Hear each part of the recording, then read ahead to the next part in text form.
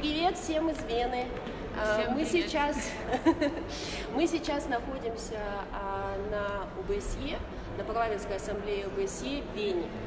И мы уже просто, мы, наверное, за два дня мы столько говорили, мы просто километры речи выдавали. И, конечно, мы говорили о всех тех нарушениях, которые происходят в Казахстане. Я говорила непосредственно по Казахстану, Людмила говорила немножко шире, потому что открытый диалог а, покрывает не только Казахстан, но и страны бывшего, другие страны бывшего Советского Союза.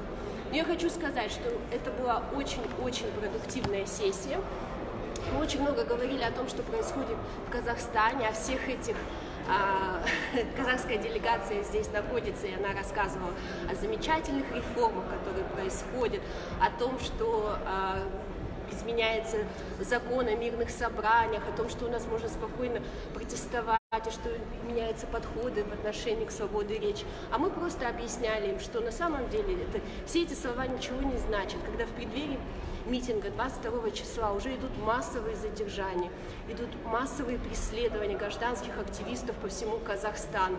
Мы рассказывали о том, как вырубается интернет, рассказывали о том, что политических заключенных продолжают держать. И, конечно же, мы называли имена всех наших ребят, которых держат за стенку.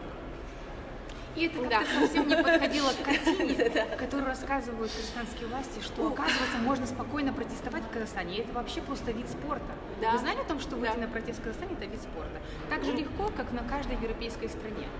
Вот Да, это, это, это, это просто они сравнивали все время. Говорят, ну так, так же, точно так же, как и в европейской, перед Европейской комиссией протестуют, точно так же у нас приходят и протестуют. И никаких последствий нет. И мы объясняли им, как у нас людей, которые выходят а, на митинги, организованные, допустим, ДВК, могут арестовать, а потом преследовать как членов а, а, экстремистской организации.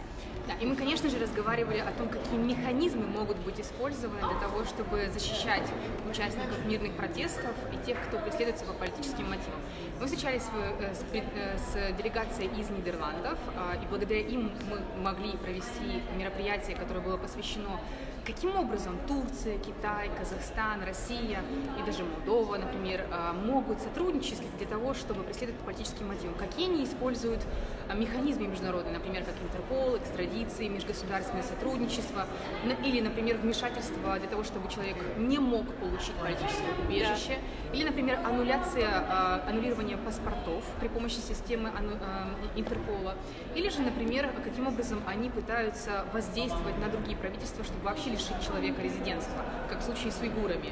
Поэтому мы... э, Да, но, и также, так как мы находимся в Вене, у нас а, была уникальная возможность встречаться с парламентариями из, а, из Вены, из Австрии, и мы а, ходили также, пом- помимо того, что мы находимся на парламентской ассамблее ОБСЕ, мы ходили в парламент а, Австрии и встречались там, говорили о том, что происходит в Казахстане, а, говорили о, о- о ситуации в Казахстане, о так называемом транзите, как его пы- пытается э, представить а, казахская делегация.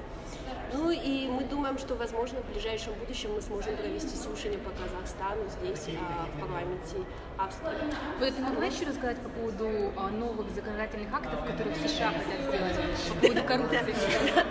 Всем привет! Людмила, я могла бы рассказать. Мы просто, реально, мы так устали. Я у спихиваю на а, воду. Знаете, чем хороша площадка ОБСЕ? Это одна из таких крупных площадок, где присутствует очень а, большая делегация из Соединенных Штатов Америки. То есть здесь есть представители, помимо того, что э, у них есть дипломатическая а, миссия здесь, также приезжают конгрессмены из Америки и также э, ну, здесь а, люди, а, которые из правительства США.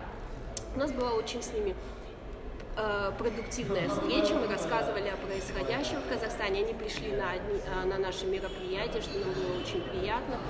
Но э, интересную вещь они нам рассказали, что в дополнение к э, существующему закону Магнитскому, который э, уже принят и работает в США, сейчас разрабатывается целых четыре законодательных акта, которые непосредственно будут атаковать клиптократов.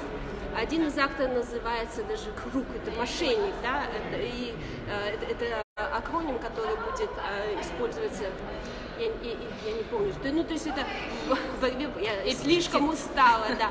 Это, это, это, в общем, цель его атаковать именно а, высокопоставленных коррупционеров и олигархов, которые фактически разворовывают национальные богатства своих стран и которые а, это называется captive state, это то есть фактически Захваченное за, за, захватывают, держат заложники не, не просто отдельных людей, политических заключенных, а целые государства, целые нации. И мы, конечно, как представители гражданского общества, мы очень поддерживаем вот эту американскую инициативу и всех европейских площадках об этом тоже. Так, у меня рука уже устала держать. Сори, извините, у нас... Ребята, давайте, всем удачи 22-го, держитесь, мы с вами. Да, всем пока-пока.